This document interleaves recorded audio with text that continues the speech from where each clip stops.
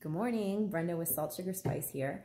And I am just sitting at my table before I have to get cooking and going over some uh, Google Analytics for the website. And I came to realize that my most popular recipe is right now is actually the quinoa chicken nuggets. And I get it, they're really good. Um, and ironically, I have to make a bunch of quinoa chicken nuggets today, and I don't have a video for that.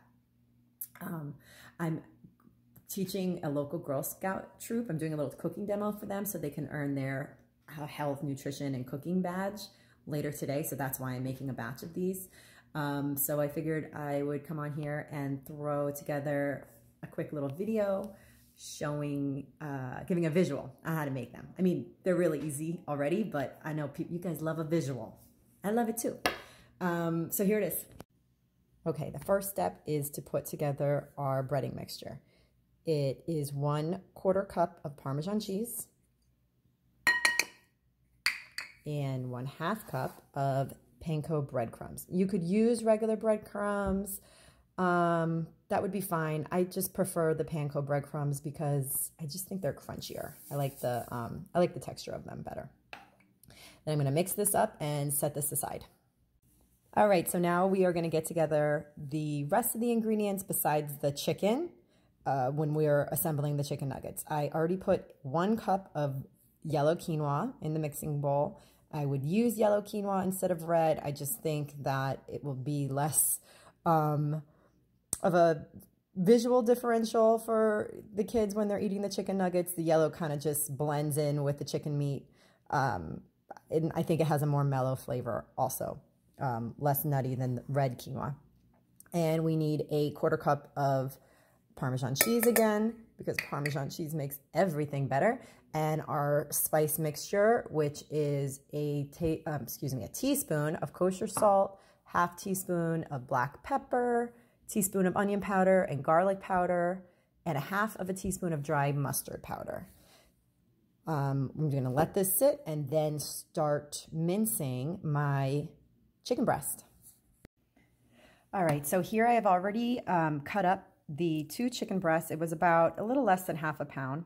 Uh, it's better to cut them up rather than putting the whole breast right in the food processor because uh, you want just want them in smaller pieces so that they grind up more uniformly.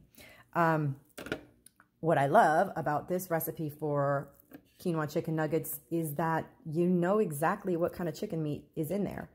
A lot of the time, frozen chicken nuggets, besides having lots of chemicals and preservatives in them, um, they don't use they don't use white chicken meat. Not all, maybe a percentage. They use parts of the chicken that you really don't want to be eating and you would never even consider putting in your mouth. They grind it all up and they hide it in there because it's a lot cheaper to produce. Um, that's why I think it's so important to take matters into your own hands sometimes and know exactly what is in your food.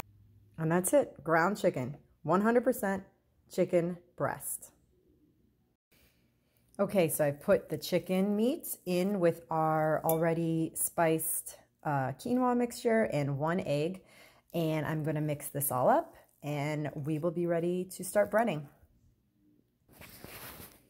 Okay, I can tell you that this is very fun to do with one hand. Just kidding. So you're to take about a tablespoon tablespoon and a half size piece of chicken meat and form it into like a chicken nugget shape little disc. Like I said, you'd be using two hands if one of them wasn't holding a phone. Um, and then just dredge it right there in the panko breadcrumbs. You really don't need to use egg and flour in, in the way you would traditionally bread something because they stick right on. Just like this, okay? And line them up on a pre-oiled um, baking sheet and repeat. This recipe will yield about um, 20, 20, 24, about two dozen um, chicken nuggets, I believe, if I remember correctly. I will, uh, I will actually let you know the exact number when I'm done putting together the rest of these. Okay, all of the forming and breading is done. I've made about, not about, exactly 24 uniformly, approximately uniformly size shaped chicken nuggets here. And I am going to put them in a 425 degree preheated oven for about 15 minutes. And I will flip them halfway through just to get both sides uh, crispy. Okay, so they are done. I roasted them at 425 for 15 minutes. I flipped it halfway through. Um, I did spray with a little olive oil on top just to try to get it to brown. Um, this is what they look like on the inside. So it really does kind of look like a chicken nugget, but it's all white meat, has quinoa, a very wholesome whole grain incorporated throughout, and it doesn't have all of the preservatives and fillers that the frozen chicken nuggets from the grocery store have. So I highly, highly recommend this recipe. My kids love them, and I think the Girl Scouts are to love them too.